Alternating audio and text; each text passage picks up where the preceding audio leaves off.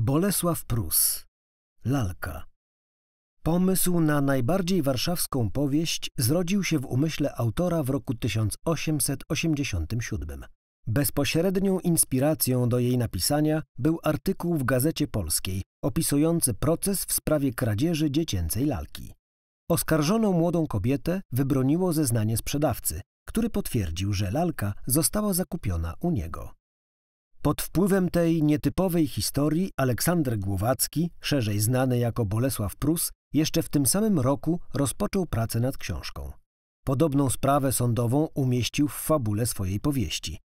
Do procesu odwołał się pośrednio również w tytule, zmieniając pierwotne trzy pokolenia właśnie na lalkę.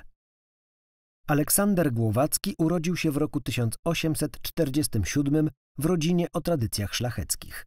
Wcześnie osierocony, wychowywany przez ciotkę i starszego brata, w wieku niespełna 16 lat zaciągnął się do powstańczego oddziału i wziął czynny udział w powstaniu styczniowym. W potyczce pod Białką odniósł poważne obrażenia, które dawały mu się we znaki do końca życia. Nabawił się również silnej fobii przed otwartą przestrzenią. Po latach, nawiązując do swoich ran, przybrał imię Bolesław, z kolei nazwisko Prus zaczerpnął ze szlacheckiego herbu swojej rodziny. Za udział w powstaniu Głowackiego pozbawiono tytułu szlacheckiego i zesłano na kilka miesięcy do aresztu. Aby zapewnić sobie byt, przyszły autor lalki chwytał się przeróżnych prac. Był korepetytorem, fotografem, a nawet ślusarzem. Z usposobienia był spokojny i wycofany, stronił od awantur i skandali. Swoją przygodę z pisaniem Głowacki rozpoczął w 1872 roku artykułem społecznym w Kurierze Domowym. Karierę kontynuował jako felietonista, regularnie zamieszczając swoje teksty w Kurierze Warszawskim, a później w Kurierze Codziennym. W tym ostatnim dzienniku ukazywała się w odcinkach lalka.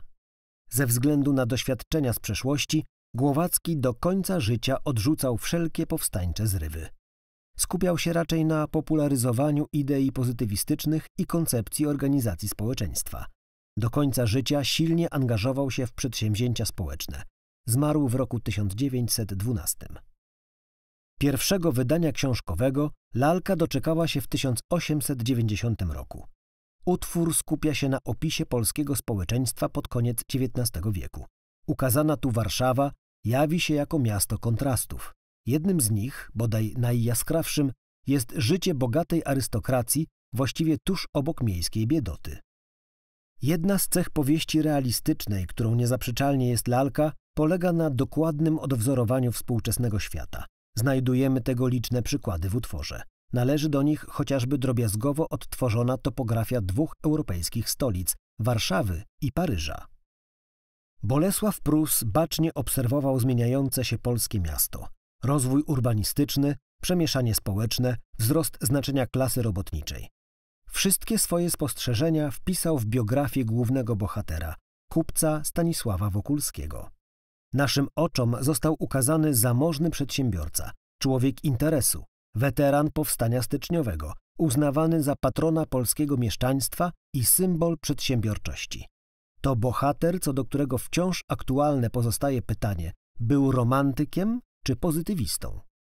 Pierwotny tytuł powieści Trzy pokolenia stanowi odniesienie do przedstawionych tu kolejnych generacji polskiego społeczeństwa. Pierwszą, najstarszą, reprezentuje Ignacy Rzecki, sprzedawca, serdeczny przyjaciel Wokulskiego.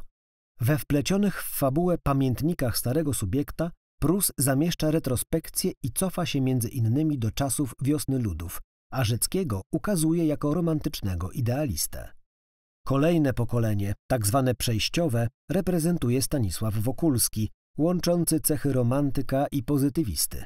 Jest nieszczęśliwie zakochany, przeżywa wewnętrzne rozdarcie między namiętnością a rozsądkiem. Wreszcie pokolenie pozytywistycznych ideowców, ludzi wspierających rozwój, wierzących w postęp, a przede wszystkim rozmiłowanych w nauce, reprezentuje młody arystokrata Julian Ochocki. W przeciwieństwie do innych członków swojej klasy nie interesował się ciągłą zabawą czy trwonieniem pieniędzy, był wielbicielem nauki i wspierał jej rozkwit. Konfrontacja tych światopoglądów to przykład romansu epok. Czas akcji utworu przypada na moment zetknięcia się romantyzmu i pozytywizmu. Obraz społeczeństwa przedstawiony w lalce uświadamia odbiorcy, jak trudny i skomplikowany był to mariaż. Bolesław Prus oceniał swoje czasy bardzo krytycznie. W najbardziej symbolicznej scenie lalki, spaceru głównego bohatera po Powiślu, autor wplata w monolog wewnętrzny Wokulskiego własne przemyślenia dotyczące pozytywistycznego pojęcia pracy u podstaw. W tej samej scenie widzimy również z jaką skrupulatnością Prus przedstawił XIX-wieczną Warszawę. Był z tym miastem związany i bardzo zżyty. Mieszkał tu zresztą od podjęcia studiów aż do śmierci. Choćby z tych powodów można go określać mianem kronikarza Warszawy.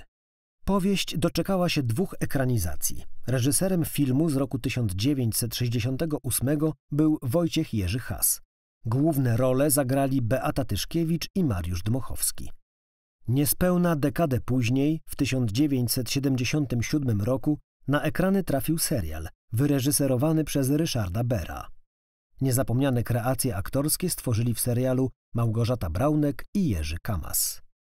Lalka Bolesława Prusa uchodzi za najważniejsze dzieło pozytywistycznej Polski oraz za jeden z najwybitniejszych utworów polskiego realizmu. Wciąż analizowana i odczytywana na nowo, staje się inspiracją dla kolejnych pokoleń.